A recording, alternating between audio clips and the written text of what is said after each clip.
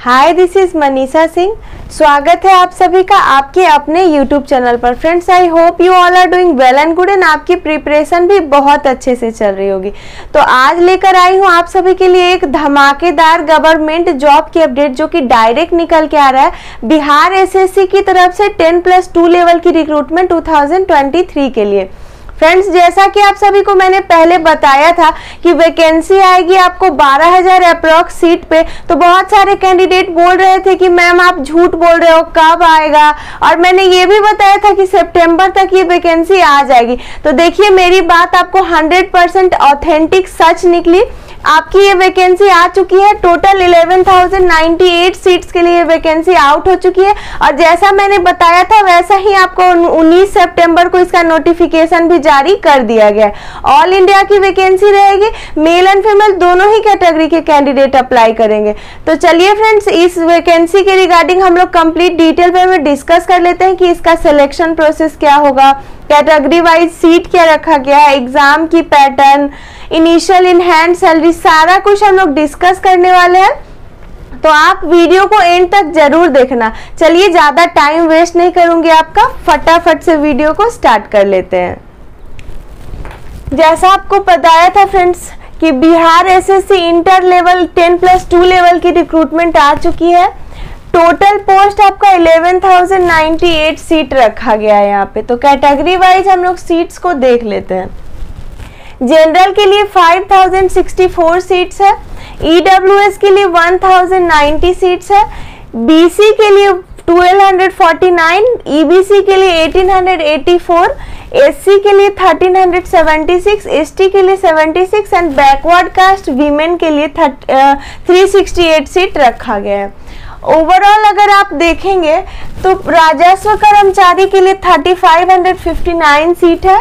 पंचायत सचिव के लिए 3532 सीट है।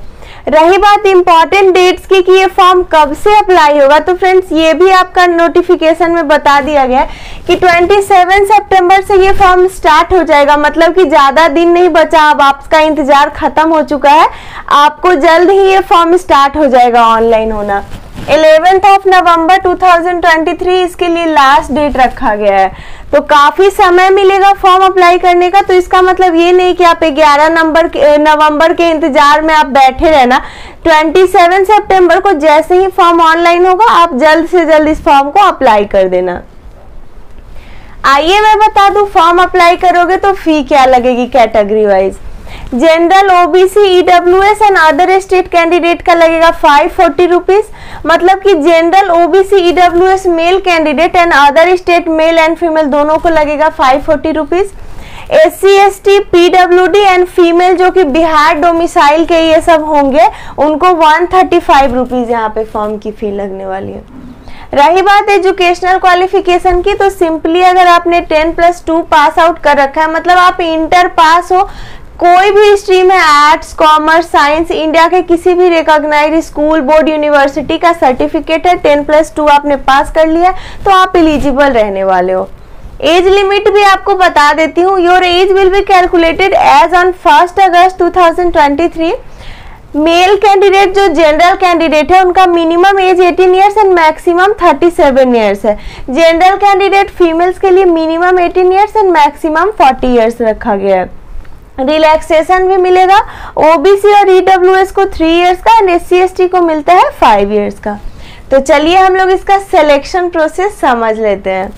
Your selection will be dependable on major three stages. First of all, you have to clear prelims exam. मतलब कि एक होता है आपका प्रारंभिक परीक्षा फिर होगी आपकी मेंस यानी कि मुख्य परीक्षा जिसको बोलते हैं वो होगा उसके बाद टाइपिंग की टेस्ट होती है तो आप सोच रहे होंगे कि कैसे कैसे क्या प्रोसेस होगा तो जैसे प्री एग्ज़ाम में जितना सीट है उसके पाँच गुना बच्चों को ना यहाँ पे इसके फाइव गुना आप कर लो जो सीट आई है उसका मल्टीप्लाई करने के बाद जितना आता है, उतने बच्चों को क्वालिफाई किया जाएगा।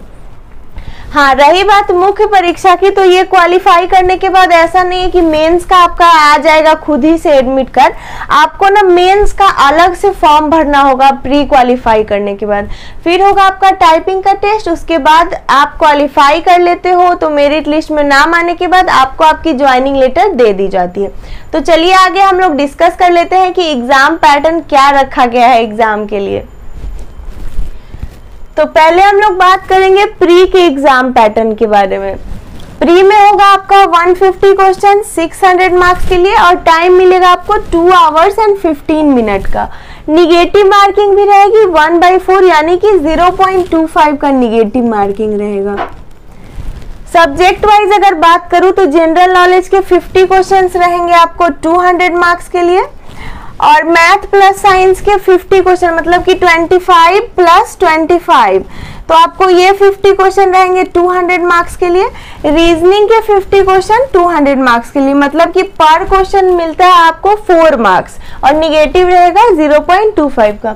सो आई होप कि आपको प्री की एग्ज़ाम पैटर्न क्लियर हो गए होंगे। आइए अब हम लोग मेंस का एग्ज़ाम पैटर्न समझ लेते हैं। मेंस में फ्रेंड्स आपका paper one and paper two दो पेपर देना होगा। पेपर वन में आपका होगा हिंदी लैंग्वेज के 100 क्वेश्चन 400 मार्क्स के लिए। टाइम मिलेगा टू आवर्स 15 मिनट के लिए।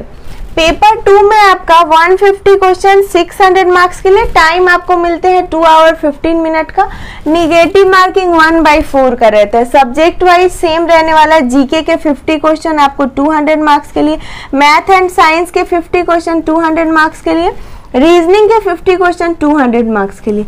मतलब कि पर क्वेश्चन इसमें भी फोर मार्क्स रहेगा निगेटिव मार्किंग आपको 0.25 का रहेगा। सो आई होप कि ये आपको क्लियर हो गया होगा प्री एंड मेंस का जो एग्ज़ाम पैटर्न रखा गया। आइए बता देती हूँ मिनिमम पासिंग मार्क्स क्या रखा जाएगा? मिनिमम आपको जनरल को एटलीस्ट 40 परसेंट स्कोर करना है, तभी जाके आप क्वालिफाई कर पाओगे। बीसी एंड ईबीसी को मिनिमम 36.5 परसेंट लाना है और एस सी को मिनिमम 32 परसेंट एंड फीमेल और जो फिजिकली हैंडीकैप पर्सन है, उनके लिए भी 32 percent minimum passing cut off रखा जाता है कितना स्कोर करने के बाद आप क्वालिफाई कर सकते हो। वैसे तो फ्रेंड्स कंपटीशन बहुत ज़्यादा बढ़ चुका है। सिर्फ़ बिहार ही नहीं ऑल इंडिया के कैंडिडेट इसके लिए अप्लाई करेंगे। तो आप 32 परसेंट या 42 परसेंट मान के नहीं चल सकते हो। आप अपना 100 परसेंट दो तैयारी अच्छी करो ताकि आप एक अच्छा स्कोर कर पाओ एग्ज़ाम में। तो कट ऑफ़ कुछ भी रहे, आपका कट ऑफ़ से ऊपर ही स्कोर रहेगा तो आपको कोई टेंशन ही नहीं होगा। चलिए मैं बता देती हूँ कि सैलरी क्या रखी गई है इसके लिए। सैलरी क्या मिलती है? तो इसमें डिफरेंट डिफरेंट पोस्ट के लिए वैकेंसी होती है। तो आपका जो स्टार्टिंग सैलरी होती है नाइनटीन थाउज़ेंड वन हंड्रेड से स्टार्टिंग होती है एंड आपको eighty one thousand one hundred तक ये सैलरी रहती है। पोस्ट वाइज वेरी करता है। आप स्क्रीन पे देख पा रहे होंगे। आप चाहो तो स्क्रीन ले सकते हो इसका और बाद में आप इसको अच्छे से समझ लेना। तो फ्रेंड्स मैंने जो आपको डिटेल बताए हैं, आप आई होप कि आप ये सब अच्छे से समझ पा रहे होंगे।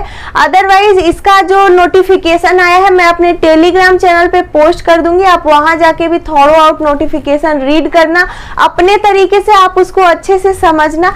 और एग्ज़ाम की तैयारी करने के लिए प्रीवियस ईयर के क्वेश्चन को ज़रूर आप बनाना। उससे आपको आइडिया होगा कि इस बार क्वेश्चन कैसा पूछा जाएगा। और एग्ज़ाम की जो पैटर्न यानी सिलेबस है, वो भी नोटिफिकेशन में दिया गया है। तो आप लोग अच्छे से उसको पढ़ लेना। और मेरी वीडियो पसंद आई हो तो वीडियो को एक लाइक कर देना, अपने फ्रेंड्स के साथ भी शेयर कर देना और चैनल को सब्सक्राइब करके नोटिफिकेशन बेल को ऑल पे सेट कर देना ताकि मेरी सारी फ्रेश वीडियो सबसे पहले आप सभी तक जाए। तो मिलूँगी आपसे फिर से किसी ज़बरदस्त गवर्नमेंट जॉब के अपडेट के साथ। तब तक के लिए stay tune bye bye take care